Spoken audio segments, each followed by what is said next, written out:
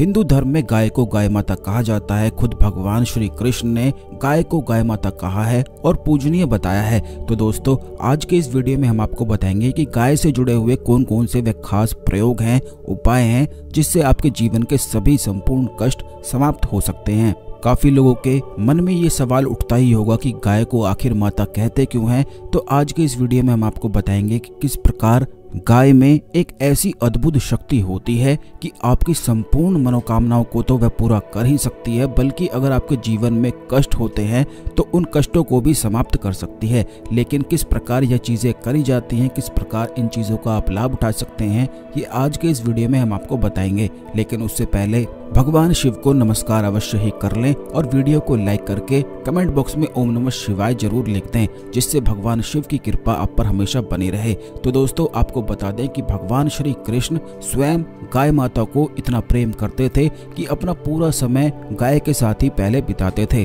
बल्कि हिंदू धर्म में भी कहा जाता है कि 33 करोड़ देवी देवताओं का वास गाय में होता है, बल्कि संपूर्ण देवी देवता, चाहे मुख्य भगवान ही क्यों ना हो, भगवान विष्णु, माता लक्ष्मी, भगवान शिव, ब्रह्मा, सभी गाय में ही वास करते हैं। और इन चीज़ों को आप स्वयं खुद करके देख सकते हैं कि जब भी अगर आपके मन में बहुत ज़्यादा चिंता या परेशानी होती है तो आप बस गाय के साथ समय अपना बिताना शुरू करें, क्योंकि गाय में एक ऐसी अद्भुत शक्ति होती है, यानी कि वह और क्लीन करने के लिए सबसे ज़्यादा खास और सबसे अधिक सरल होती है। यानी कि जब भी किसी व्यक्ति के जीवन में कष्ट आता है तो इसका मतलब यह है कि उसके और जो हैं, जो उसके चक्र हैं, जो उसके कलर्स हैं, वह खराब हो चुके हैं। तो गाय में एक ऐसी शक्ति होती है कि बिल्कुल आपके और को क्लीन कर सकती है और जैसे जैसे आप गाय के पास समय बिताते जाएँगे, वैसे ही आपका कष्ट और चिंता भी समाप्त होने लग जाएँगी। दूसरी चीज़ ये है कि अगर किसी व्यक्ति को लकवा रोग होने वाली संभावना होती है, यानी कि उसे लगता है कि लकवा रोग होने वाला है या शुरुआत लकवा रोग की हो चुकी है तो अगर वह रोज गाय पर हाथ फिराना शुरू कर दे तो कुछ ही दिनों में उसका लकवा रोग पूरी तरह से बिल्कुल ठीक हो जाता है, क्योंकि गाय में ऐसी शक्ति होती है कि संपूर्ण प्रकार के रोग को तुरंत ही समाप्त कर सकती है और इन चीज़ों को आप स्वयं करके देख सकते हैं। यदि अगर आपके जीवन में कर्ज की समस्याएँ बहुत ज़्यादा अधिक होती हैं और लाख प्रयास के बाद भी आपको कर्ज से छुटकारा नहीं मिल पाता है तो आप बस केवल इतना करें कि लाल गाय को हर मंगलवार के दिन रोटी खिलाना शुरू कर दें और देखते ही देखते आपके जीवन में ऐसे योग बन जाएँगे कि तुरंत ही आपका कर्ज समाप्त होने लगेगा और ऐसे योग मिलेंगे कि आपके धन की आमदनी बढ़ती ही चली जाएगी। काफ़ी लोग इस बारे में नहीं जानते हैं, लेकिन जब भी किसी भी व्यक्ति पर कर्ज की समस्याएँ अगर होती हैं तो तभी वह कर्ज चुका पाता है। यदि उसकी आमदनी बढ़ जाए, तभी वह केवल धन को चुका पाता है। कर्ज से मुक्त हो पाता है या फिर अचानक से उसे धन की प्राप्ति हो जाए, दूसरा कोई और रास्ता नहीं होता है। तो आप इस चीज़ को स्वयं करके देखें कि हर मंगलवार के दिन लाल गाय आप एक ढूंढ लें। अपने घर के आसपास इस बात का आपको ध्यान रखना है कि जब भी आप गाय से जुड़े हुए कोई भी प्रयोग या उपाय करते हैं तो आपको एक गाय को चुन लेना चाहिए और बस उसी की सेवा में जुट जाना चाहिए। तभी जीवन में ऐसा बदलाव आपके निश्चित आएगा कि आप खुद भी हैरान रह जाएँगे कि आखिर 33 करोड़ देवी देवताओं का वास हिंदू धर्म में गाय में क्यों बताया है? जिस घर में भूत प्रेत आदि का वास रहता है या फिर अगर घर में किसी को भूत प्रेत आदि की समस्याएँ रहती हैं, मन में चिंता, घबराहट, डर हमेशा बना रहता है। रात को सोते हुए डर लगता है। सपने बुरे बुरे आते हैं तो आपको केवल बस इतना करना है कि गाय के गोमूत्र को अपने घर में छिड़कना है। यानी कि जिस बेडरूम में आप सोते हैं, जहाँ पर जिस बेड पर आप सोते हैं, गोमूत्र को आप वहाँ पर छिड़कना शुरू कर दें। आपका देखते ही देखते ऐसा डर गायब हो जाएगा और कोई भी भूत, प्रेत, पिशाच आदि आपको परेशान फिर नहीं कर सकते हैं। लेकिन इस बात का आपको ध्यान रखना है कि ये जितने भी प्रयोग हम आपको बता रहे हैं, इनको लगातार ही करना है। इनका प्रभाव 21 दिन में शुरू होता है, यानी कि जब पूर्णिमा से अगली अमावस्या या अगली पूर्णिमा आ जाती है, तब इनका प्रभाव खुलना शुरू होता है। कोई भी उपाय जब आप करते हैं तो काफ़ी लोग ऐसा समझते हैं कि इंस्टेंट ही सब कुछ हो जाना चाहिए। जैसे ये कोई मैगी का नूडल हो, लेकिन आपको बता दें कि जब भी आप कोई भी चीज़ करते हैं तो उसका प्रभाव खुलने में समय लगता है और यह समय कम से कम 21 दिन या 41 दिन आपको पकड़कर चलना चाहिए और अपने विश्वास को पूरा बनाकर रखना चाहिए, तब हर चीज़ आपके लिए कार्य करती है। इस जानकारी को मुख्य समझकर आप बिल्कुल ध्यान रखा करें। जब भी कोई उपाय करें तो बिल्कुल लगातार करते रहें, पूर्ण विश्वास के साथ, क्योंकि सभी उपाय निश्चित ही कार्य करते हैं। अब इस बात का ध्यान रखें कि जब आप गोमूत्र को अपने घर में छिड़कना शुरू करेंगे तो इसका प्रभाव चार पाँच दिन में ही शुरू हो जाता है। यानी कि जो भी व्यक्ति भूत प्रेत आदि की समस्या से पीड़ित रहता है या जिस घर में बच्चे डरते हैं, रात को सोते हुए डरते हैं, डर जाते हैं, उन्हें नींद नहीं आती है या फिर रात को रोने लग जाते हैं तो उस घर में गोमूत्र अवश्य ही छिड़कना चाहिए। अब इसी की तरह है कि अगर आपके घर में कोई ऐसे बच्चे हैं कि उनको डर लगता है, बिल्कुल भी उनका पढ़ाई में ध्यान नहीं लगता है या फिर बेकार की चीज़ों में अपना समय बर्बाद करते रहते हैं और बिल्कुल भी कोई भी चीज़ को सीरियस नहीं लेते हैं या आपका कहना नहीं मानते हैं तो आपको केवल इतना करना है कि उनके सर पर गाय की पूंछ को हर सोमवार के दिन फिराना है। आपको वहाँ पर ले जाकर गाय की पूंछ को उन बच्चों के सिर पर फिराना है। ऐसा करने से वह बच्चे बहुत ज़्यादा अधिक समझदार बन जाते हैं और आपका कहना वह मानने लग जाएँगे। जो भी चीज़ आप उन्हें बोलेंगे तो सही रास्ते पर वह निश्चित ही फिर उसके बाद चलते हैं। इसी तरह से काफ़ी लोगों की ये भी समस्याएँ रहती हैं कि वह सभी लोगों का अच्छा करते हैं, लेकिन फिर भी उन्हें मान सम्मान की प्राप्ति नहीं हो पाती है। आपने काफ़ी लोगों को ऐसा देखा होगा कि उनके पास धन तो होता है, लेकिन कई लोगों के पास कई और तरह की चीज़ें नहीं होती हैं। जैसे कि सभी लोग ये समझते हैं कि पैसा ही केवल लक्ष्मी है, लेकिन आपको ये बता दें कि अगर किसी व्यक्ति के पास पैसा है, लेकिन उसके पास सुख नहीं है तो उसका पैसा केवल एक कागज़ और मिट्टी के ही समान है। जिस व्यक्ति के पास सुख ही नहीं है तो वह क्या उस पैसे का लाभ उठा सकता है? लेकिन अगर किसी व्यक्ति के पास सुख है और उसके पास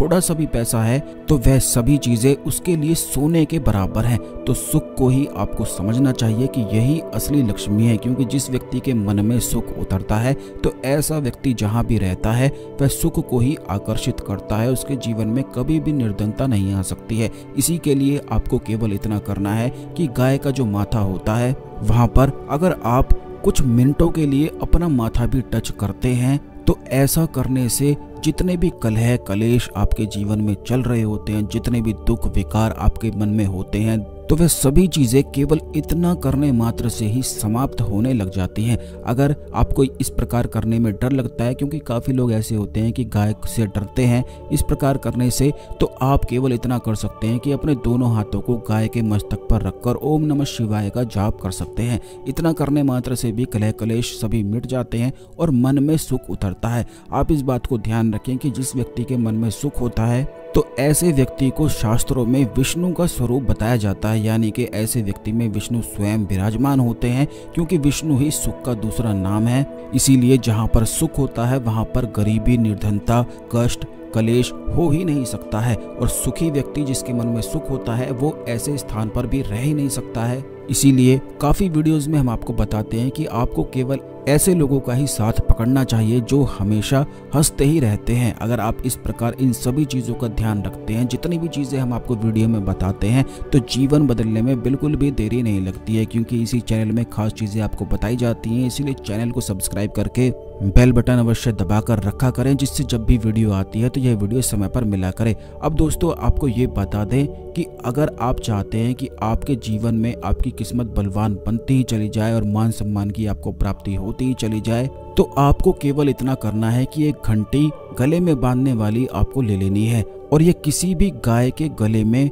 घंटी आपको बाँध देनी है और गाय के गले पर हाथ फिरा देना है। ऐसा करने मात्र से ही जितना वह घंटी बजती है, उतना ही जीवन में मान सम्मान आपके बढ़ता ही चला जाएगा। आप स्वयं खुद सोचकर हैरान रह जाएँगे, देखकर हैरान रह जाएँगे कि हर जगह से प्रेम आपके जीवन में आकर्षित होने लगेगा। और इस बात का ध्यान रखें कि यह केवल आपको रविवार के दिन ही करना है। केवल इतना करने मात्र से आपको अचानक से ऐसे लोग मिलने लग जाएँगे जिससे आपके मान सम्मान में बढ़ोतरी होने लग जाएगी। तो दोस्तों, आपको ये भी बता दें कि अगर आपको शत्रु बहुत ज़्यादा अधिक परेशान करते हैं, शत्रु आप पर हावी होते हैं तो बस आज से ही आप गाय की पीठ पर हाथ फिराना शुरू कर दें। आप स्वयं देखेंगे कि आपको स्वास्थ्य, लाभ तो मिलेंगे ही, बल्कि आपका मन शांत रहने लग जाएगा, शत्रु आपका कुछ भी नहीं बिगाड़ पाएँगे। ये इतनी सरल सी चीज़ें हैं कि इन्हें कोई भी करके लाभ उठा सकता है। लेकिन सबसे मुख्य बात यह है कि इन चीज़ों को आपको तभी करना है जब आपके मन में गाय के प्रति प्रेम होना चाहिए, क्योंकि चीज़ें तभी सफल हो पाती हैं जब आपके मन में प्रेम होता है। स्वयं भगवान श्री कृष्ण गाय के साथ अपना समय व्यतीत करते थे। तो अब आप ये खुद ही सोच सकते हैं कि जब भगवान श्री कृष्ण स्वयं गाय के साथ ही रहते थे और उन्होंने स्वयं ही गाय को गौ माता कह दिया तो यह कितनी अधिक शक्तिशाली चीज़ें हो सकती हैं।